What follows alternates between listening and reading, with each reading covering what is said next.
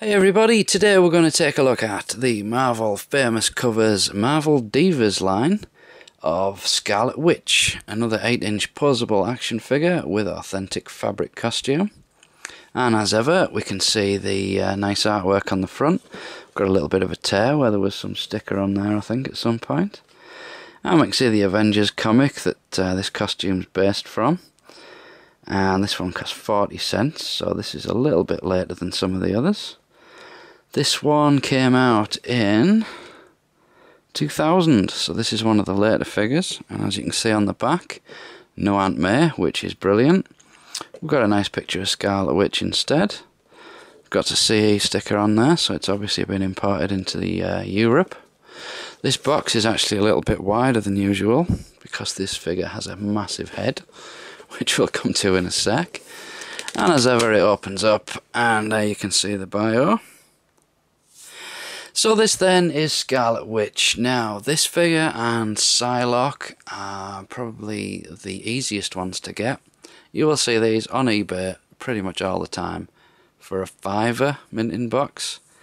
They're uh, not very sought after at all, and there's fair reason for that because some of the female characters on these weren't very good. This one has one major flaw, but the rest of it's not too bad to be fair. But that major flaw is so major it causes real problems with this figure. So let's start on a positive.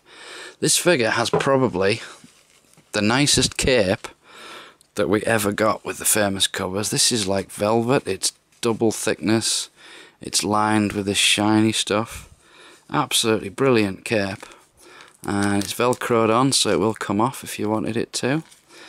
She's got the tight PVC costume with a whatever this is legs and arms. Is it lycra or something? I'm not sure.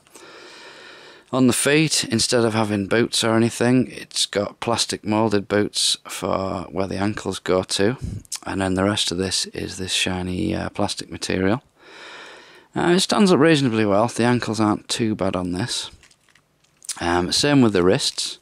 She's got the moulded hands. No fist on this one, so that's pretty good. And again, we've got the plastic material for the cuffs. Um, this is where the major flaw is. This is a sculpted hair instead of having real hair, which all the other female characters do, which is kind of okay. However, this block of plastic is so heavy, it just it makes the figure completely top heavy and makes it nigh on impossible to stand up. This, uh, this really is a problem. It's going to prove me wrong and stand up now. There, well, there you go. It does stand up, but it's very top heavy and it won't stay for long.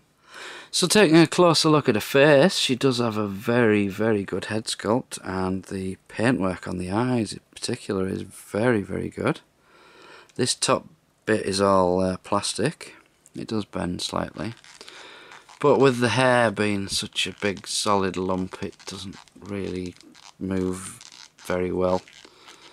And like I say, it does make it extremely top heavy. So if you can get her to stay stood up, she's actually a very, very nice looking figure. I mean, you've got to get past the hair thing, but that cape does make up for it. That cape is absolutely fantastic. So this has been Luke with Scarlet Witch from Marvel Famous Covers. Thanks for watching, and I'll see you next time.